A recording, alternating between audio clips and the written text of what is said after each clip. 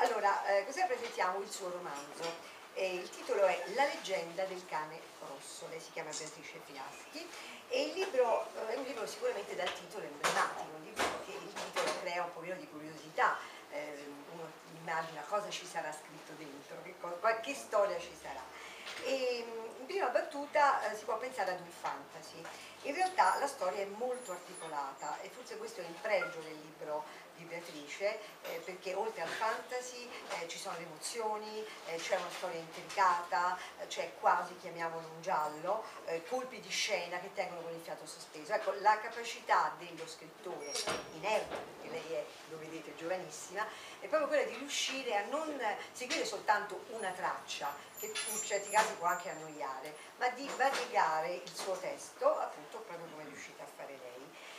E il tutto ruota intorno ad una ispettrice di polizia, una giovane anche lei, che si chiama Cristina. E lei si trova coinvolta in una vicenda appunto di mistero, come dicevamo prima, di colpi di scena, e, e questi eh,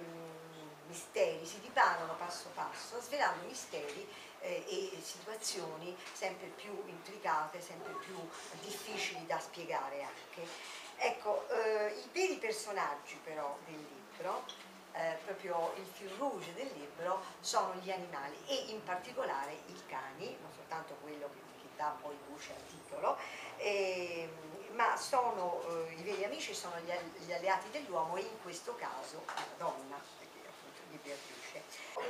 Questo libro scorre sul tipo piano della immaginazione, narrazione e realtà. Ecco, che cosa ti spinge a scrivere storie così articolate e perché non hai ancora pensato a scrivere un romanzo semplice?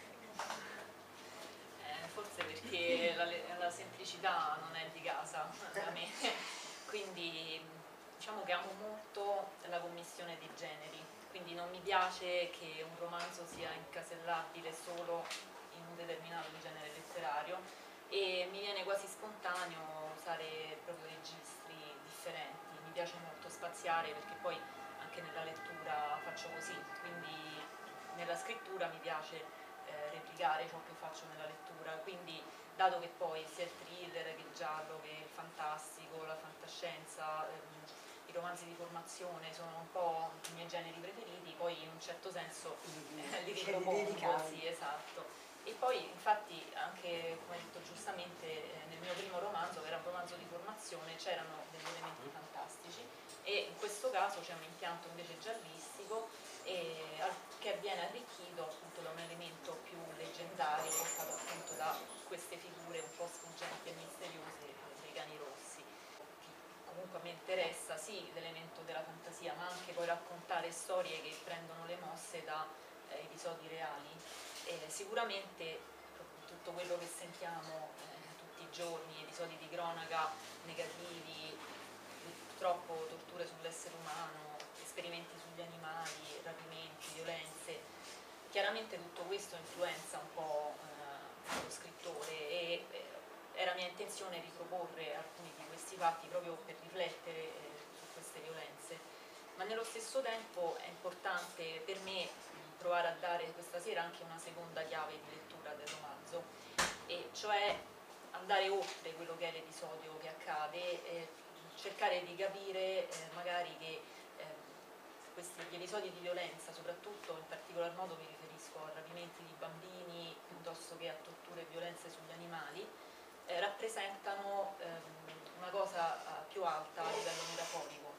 cioè il fatto che ci sono delle parti di noi che vengono violentate costantemente durante la vita di tutti i giorni